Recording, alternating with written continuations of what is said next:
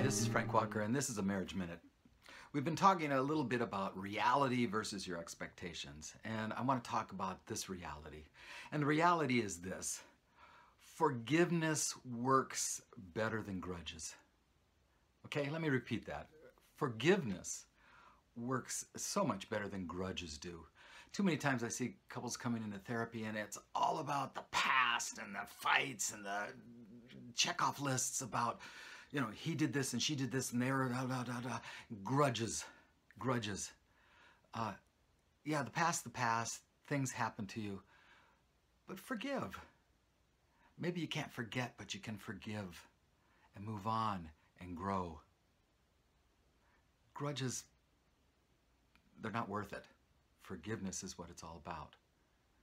And you need to be forgiven too. Golden rule here. Do unto others, okay?